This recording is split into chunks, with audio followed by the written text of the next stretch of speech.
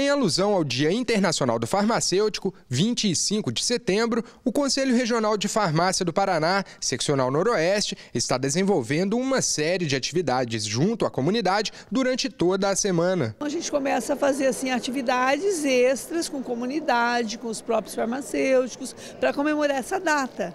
Hoje pela manhã, a programação foi para os idosos que frequentam o Centro Dia. Depois do café da manhã, foram repassadas informações sobre medicamentos e realizados exames de glicemia, palestras, avaliações físicas, entre outras atividades. A gente não sabe tomar remédio, sem saber que remédio que é, né? A gente explicando, a gente oh, não pode tomar que faz mal, ele falou isso, então a gente não pode tomar coisa que não sabe. É bom ter um acompanhamento. Sozinho, a gente mora sozinho, né? Pega um remédio, toma qualquer remédio, em fazer bem, faz mal. A nossa escolha pelo idoso nessa data aqui em Umarama foi exatamente para tentar juntar um pouco das duas coisas, a Semana do Farmacêutico e a Semana do Idoso, que é a semana que vem. Idosos que dizem não usar medicamentos também aproveitam o evento e contam como cuidam da saúde. Ando bastante, dança aqui, todo baile nós dança.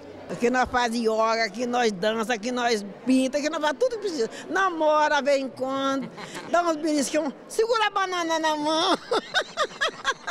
O evento também tem por objetivo ressaltar a importância do profissional farmacêutico. Mostrar, inclusive, que a, a, nós temos um papel com a comunidade, uhum. que não é a venda do medicamento em si, uhum. e que o medicamento é, um algo, é algo perigoso, né? Uhum. que deve ser tomado quando necessário. E nem sempre é necessário, as pessoas se automedicam muito. Então, o que a gente busca é o uso racional do medicamento, uma alimentação saudável, a prática do exercício físico.